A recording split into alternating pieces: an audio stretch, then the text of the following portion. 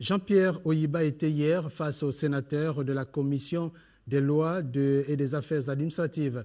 Le ministre de la Santé est allé défendre le projet de loi modifiant et abrogeant certaines dispositions de la loi portant adoption de la deuxième partie du Code civil. Guy Roger Lendira, Franck Mangolo.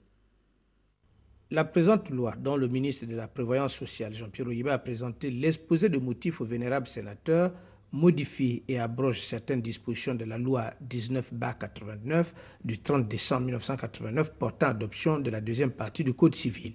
Au total, ce sont 19 articles de cette loi qui sont modifiés, révisant ainsi la législation en matière de protection de la veuve et de l'orphelin.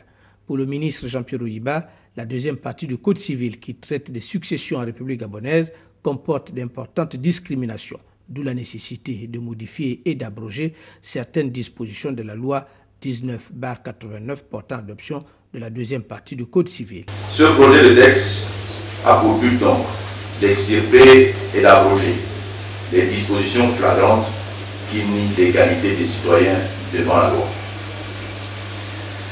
Il harmonise d'autres dispositions avec euh, la Constitution de la République gabonaise.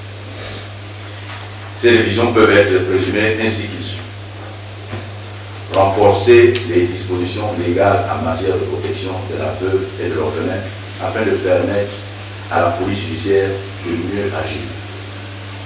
Rehausser les pouvoirs et droits du conjoint survivant.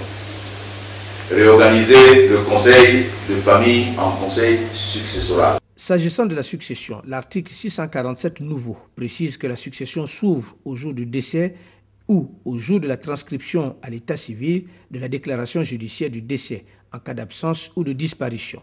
Une audition qui a suscité plusieurs questions des sénateurs, tant le sujet est dense et complexe. Ainsi, les sénateurs se sont apaisantis sur le mariage coutumier, sur la spoliation de la veuve, sur la place du veuf et du droit coutumier gabonais, sur le conseil successoral et bien d'autres questions pertinentes. À cette occasion, le ministre de la Santé et de la Prévoyance sociale, Jean-Pierre Oyiba, a donné réponse aux préoccupations tout en rassurant les élus de la Haute Chambre du Parlement l'engagement du gouvernement à tout mettre en œuvre pour répondre aux objectifs du millénaire, mais aussi à protéger la veuve et l'orphelin au Gabon. Cette loi permettra entre autres d'interdire tous les abus à l'encontre de la veuve et de l'orphelin sur le territoire.